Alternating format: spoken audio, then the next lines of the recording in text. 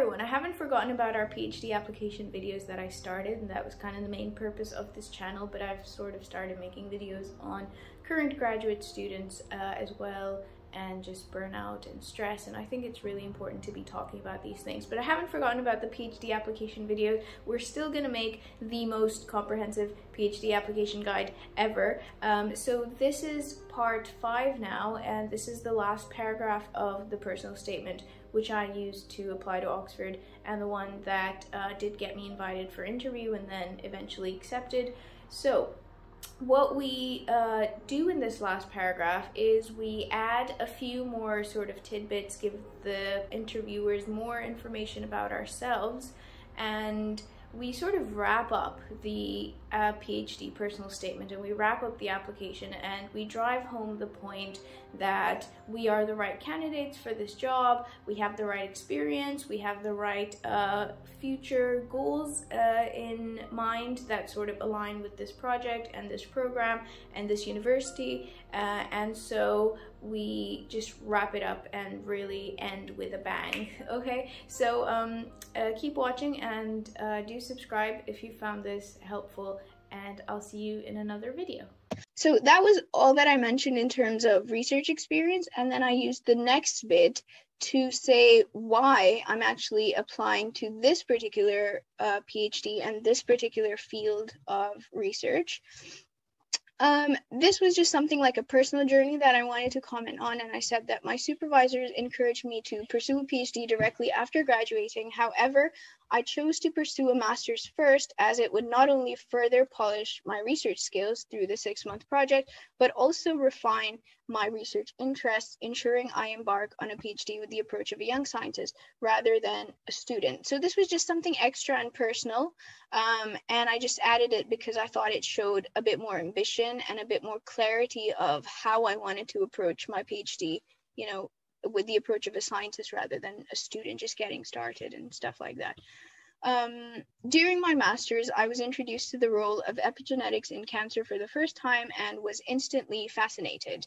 Um, I realized this was a field that was crucial in shaping our understanding of cancer, yet very little is known about it, representing a great niche to work in. So now I'm telling them why I'm applying to these projects. So the way my application worked was that you applied to the department and then every year they list available supervisors that are available to take on a PhD student and their projects uh, proposals. And so from that, you choose different projects. And I, all of my priorities were, were the epigenetics ones.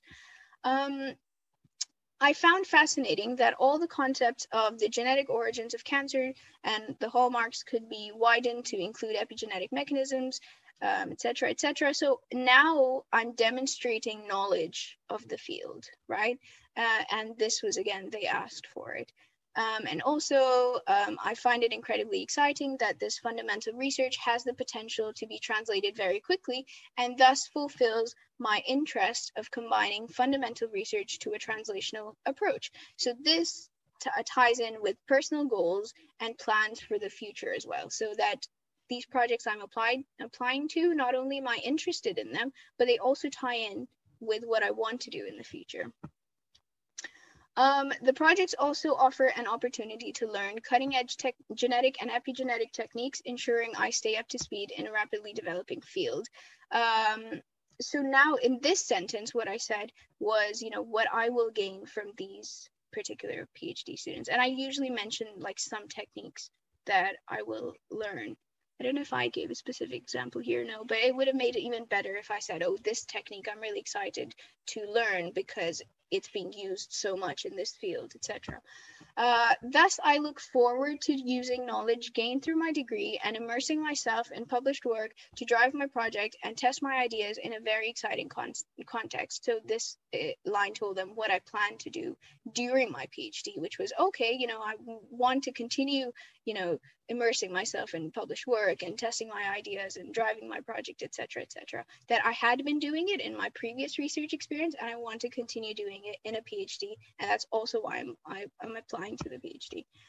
Um, and in addition, being in the intellectually stimulating and competitive environment at the University of Oxford will provide me with an opportunity to be challenged, uh, sift my ideas through critical minds, and grow as a scientist, helping me reach my full potential. This opportunity to learn from and build connections with leading researchers is incredibly exciting and will prove invaluable. So, a lot of times, when you're applying to a certain university, they also kind of want to know, okay, why this university, you know?